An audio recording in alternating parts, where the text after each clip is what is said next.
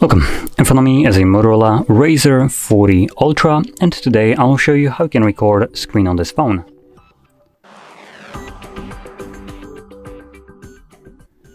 So to get started, pull down your notifications by swiping down from the top of your screen. Do so once again to extend the list of toggles. Now on one of the pages we should have a screen recording toggle and let's see if I can find mine. No, it's right over here on the second page. Actually, no, that's a third page. So right over here. Uh, once you find this toggle, you can tap on it. And so just bring up this quick message, start recording. When to select start. It starts a countdown.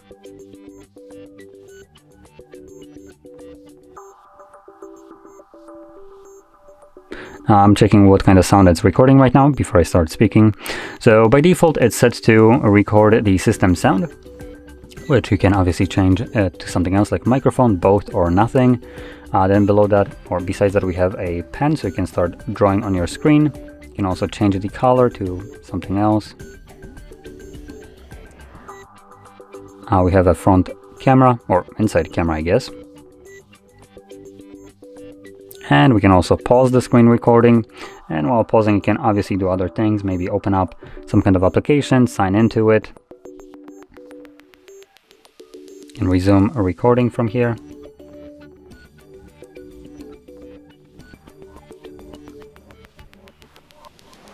And once you're done, click on the red square.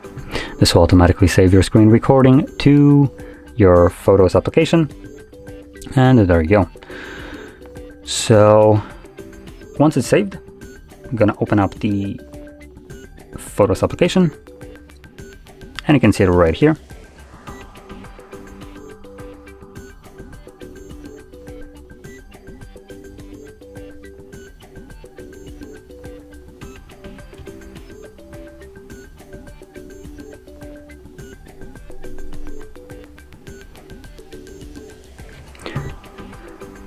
So there we go. Now, while this is playing back, I'm going to quickly mention one more important thing. Not every application will be recordable, if that's even a word.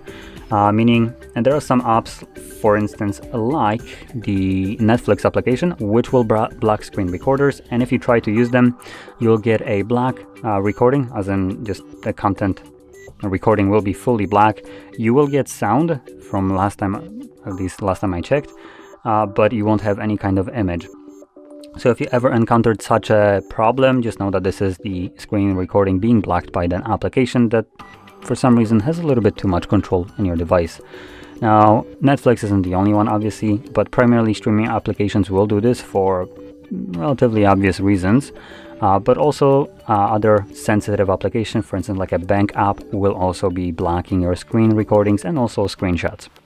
Now, with that being said, hopefully you found this video helpful. If you did, don't forget to hit like, subscribe, and thanks for watching.